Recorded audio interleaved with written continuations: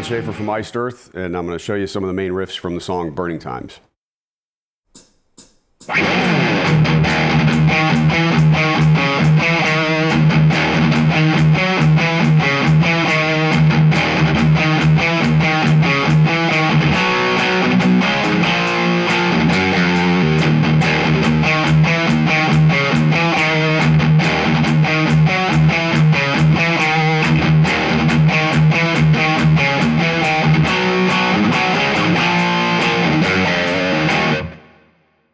You know what we're doing is we're creating illusions right? I mean that's what the music industry is really all about. And you have to be able to to make this whole this get this feeling of the pant waving next to a really loud cabinet.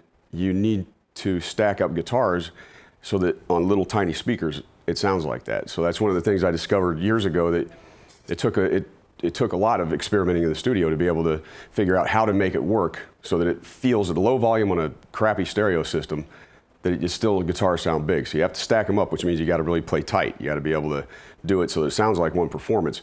Live is a whole different animal because you're dealing with volume and you've, you've got the power of the amp there and the PA system blasting you in the face. So people say, well, how do you do that live? Well, you don't, you don't worry about it live. You know, you do, you do what you got to do. So anyway, that's, uh, that's one of the things that I always do with, with Iced Earth I always have is heavy guitar stacking on the, on the rhythm parts. Okay, this is the other part in the, uh, the intro of Burning Times. This is what uh, Troy does live. I did this back in the studio in 1998. So here we go.